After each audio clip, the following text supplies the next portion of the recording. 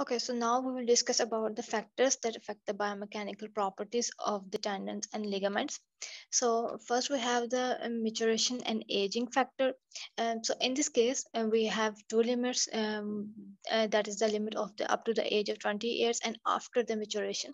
So what happens during the first uh, up to the 20 years of age is that the number uh, and the quality of the cross linkages in collagen molecules increases and this results in increased tensile strength so uh, the collagen fibril diameter increased. As a result uh, as i have uh, like uh, already explained earlier that uh, when the collagen molecules interlink with each other and they form uh, these bundles of like fibrils so when the interlinkages between the collagen molecules will increase they will ultimately increase the diameter of the fibril fibril produced. So uh, the increased uh, the fibril with the increased diameter will ultimately provide the more uh, tensile strength to the um, uh, uh, tendons.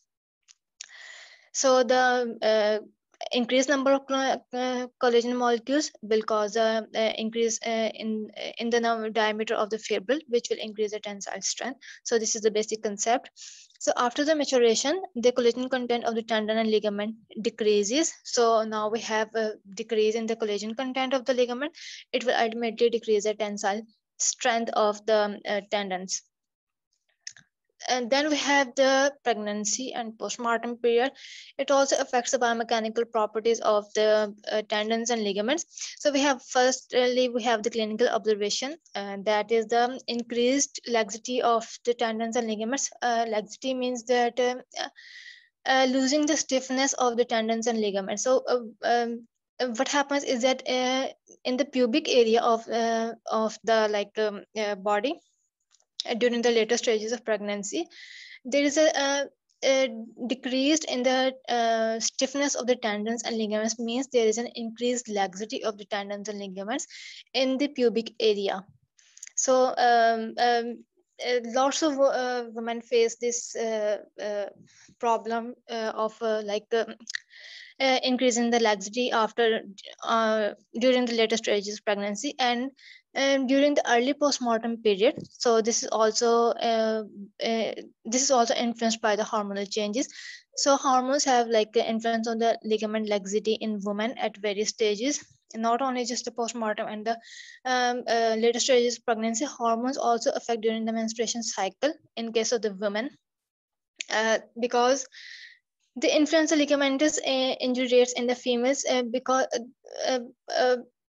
for women who play who are like athletes and those who play like uh, soccer and basketball there are chances that and their hormonal changes may cause uh, the ligament injury as more as compared to the men. Because in case of the men ligament injury eh, the rate of the ligament injury is lower but in case of the uh, women who are playing basketball or soccer or maybe they are athletes because of the menstrual, menstrual cycle and hormonal changes their chances of ligament injury increases so, and then we have this mobilization and immobilization. So, tendons and uh, ligaments remodel in response to the mechanical demands become stronger and safer when subject to increased stress. For example, uh, whenever uh, uh you exercise, uh, there is like um, your tendons and ligaments become more stiffer. But uh, if you are like a couch potato, you don't, um, you are like there's like less mo mobility in your daily life then your tendons and ligaments will get uh, weaker. So the physical training found to increase the tensile strength definitely um, the more exercise you will do and there is uh, more chances that the tensile strength of the tendons and ligaments uh, in your body will increase and the immobilization will lead to the less tensile decreased or less tensile strength of the ligaments and tendons. So it is better, uh, it is usually preferred and uh, it is uh, better to like uh, uh, do five to 10 minutes of exercise daily. That is the reason it is recommended usually by the doctors because immobilization uh, leads to the decreased mechanical properties of the bone and ligament. And if you, the uh, mechanical properties of uh, the tendon and ligament will increase cause of the mobilization it can also lead to the injury of the tendon and ligament. And there are the rates of the injury uh, gets higher when you have like in case of the immobilization then we have the comorbidities, uh, which is a condition that contribute to the musculoskeletal disorder involving the tendons and ligaments. We have three uh, conditions under this. Uh, first is a diabetes mellitus, which is an insulin-dependent form of a disease, and it is a type 1 disease.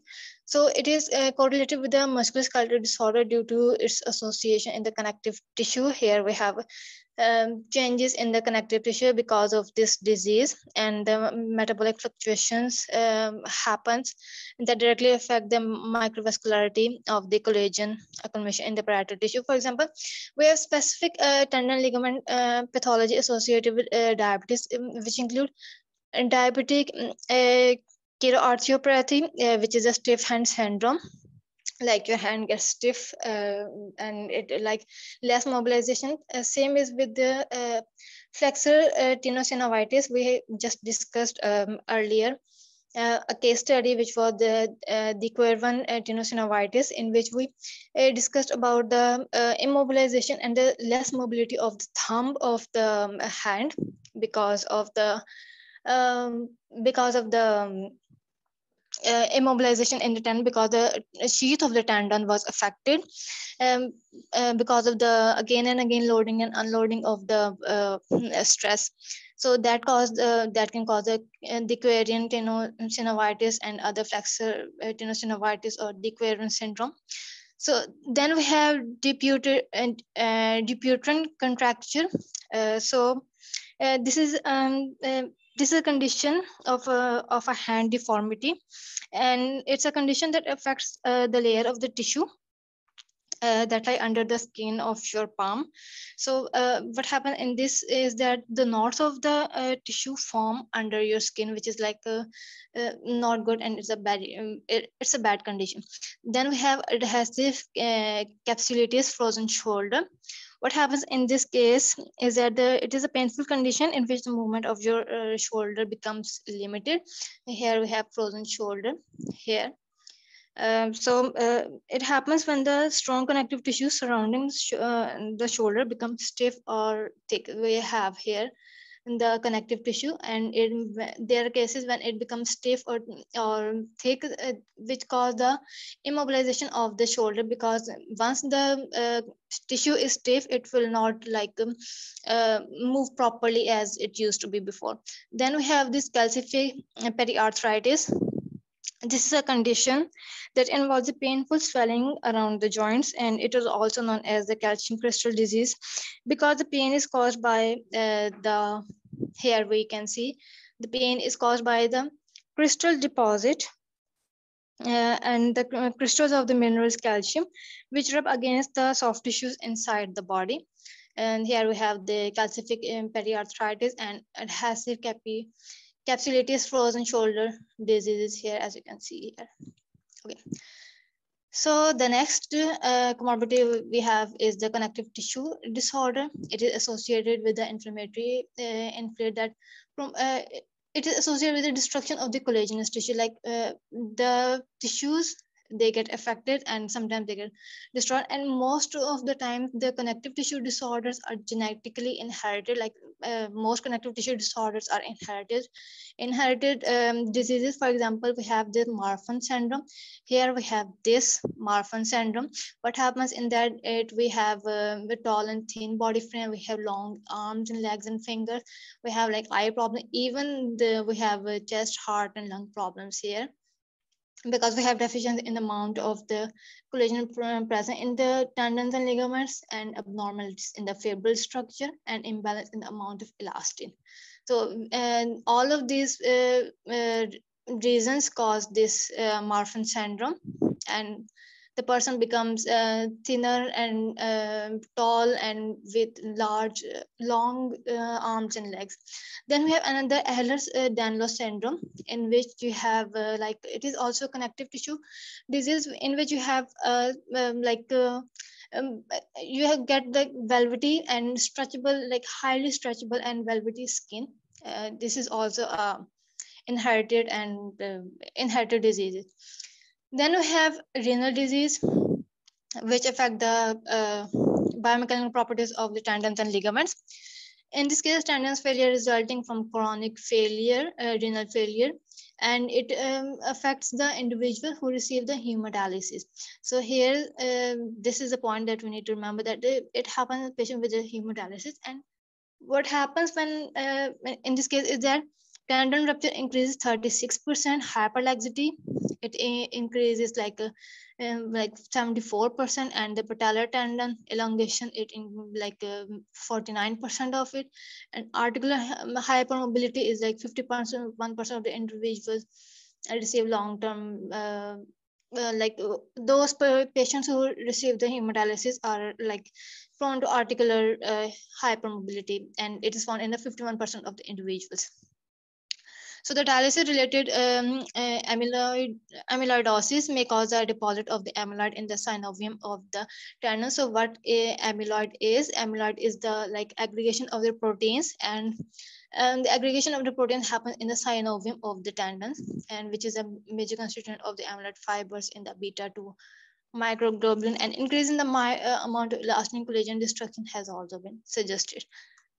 So we have then uh, the pharmacological agents, which also affect the biomechanical properties of the tendons and ligaments. First, we have the non-steroidal anti-inflammatory drugs and, uh, and NSAID. We, uh, in this, we have the examples of aspirin and acetaminophen and indomethacin. Methacin. Um, we have like animal study in which we have short-term administration of NSAID, which uh, the uh, short-term administration of the NSAID caused the increased rate of biomechanical restoration of the tissue. Like it is like increasing the biomechanical properties, uh, but uh, it can also like um, um, harm. NSAID are frequently used in the painful conditions of the musculoskeletal system then it is also widely, widely used in the treatment of soft tissue injuries and inflammatory disorders. How they are like uh, used in the treatment of soft tissue, we have like these three uh, cases here. In 1977, the treatment with the endomethacillin, we just studied here that we have endomethacillin here in the uh, non-steroidal anti-inflammatory drugs. It is one of the uh, drugs, and it uh, that the treatment with the uh, with the um, Indomethacin resulted in increased tensile strength in the rat tail tendons. Then again in the 1982, um, the same indomethacin increased the tensile strength in the peri mm, periodontium of the rats after like uh, the treatment of the uh, treatment with the indomethacin. Then again in the 1986, um, the same drug indomethacin treatment was uh, applied and it caused the increased strength and development in the healing of the plantaris longus tendon. So what is the plantaris longus tendon? Um, I explained in the uh, previously too that the this is the plantaris muscle is the one uh, with the small muscle and the bigger tendon. That was the plantaris uh, uh, tendon and muscle. Then we have steroids, uh, which are associated with the inhibition of the collagen synthesis and subsequently they alter the healing and decrease the peak load of these tissues. Um, um, um, everyone must have known about, uh, have heard about the steroids, what they do, what they actually do. This is what like steroids are these. So we have fluoroquinolones, uh, which is a chemotherapeutic antibiotic medication.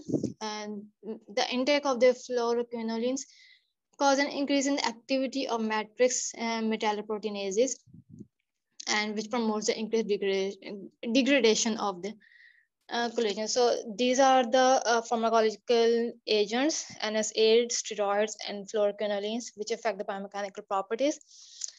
So that's it for the uh, biomechanical properties of the tendons and ligaments.